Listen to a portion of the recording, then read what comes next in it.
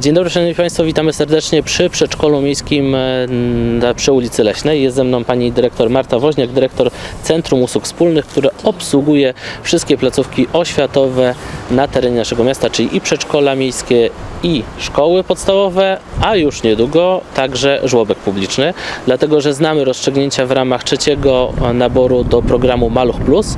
W ramach tego naboru gmina Starachowice pozyskała ponad milion 100 tysięcy złotych na utworzenie miejsc żłobkowych właśnie w budynku, który znajduje się za naszymi plecami przy ulicy Leśnej.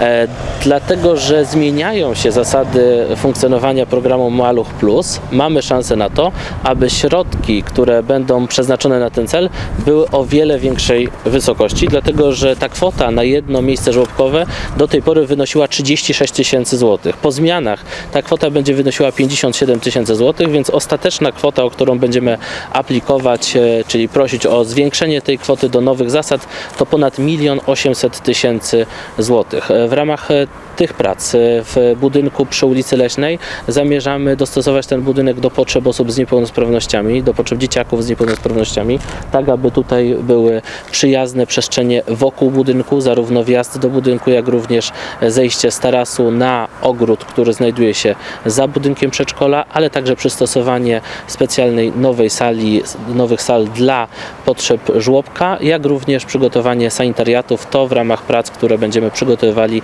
zostanie wykonane.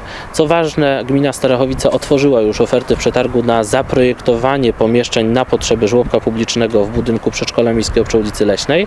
W najbliższych dniach nastąpi wybór firmy, która wykona dla nas dokumentację. W późniejszym etapie wybierzemy wykonawcę pracy po to, żeby od września 2025 roku żłobek publiczny e, przy ulicy Leśnej zaczął funkcjonować. W nawiązaniu do dyskusji, które prowadzone były w różnych momentach dotyczących żłobka publicznego, chciałbym wyjaśnić, że e, my przez ostatnie lata prowadziliśmy politykę wsparcia dla wszystkich żłobków niepublicznych na terenie miasta, po to, aby miejsc żłobkowych w Starachowicach było maksymalnie dużo. Efekt tego jest taki, że jest tych miejsc kilkadziesiąt więcej niż osób chętnych do tego, żeby posłać swoje dzieci do tych żłobków, które działają na terenie miasta. Żłobki te powstawały dzięki dofinansowaniom właśnie w ramach programu Maluch Plus, czy w ramach środków europejskich, w ramach regionalnego programu operacyjnego dla województwa świętokrzyskiego. Ta konsekwentna polityka doprowadziła do tego, że Siedem żłobków niepublicznych funkcjonuje na terenie naszego miasta, a miasto Starachowice wspiera rodziców poprzez dopłatę do każdego dziecka w żłobku. Miesięcznie jest to kwota aktualnie 550 zł.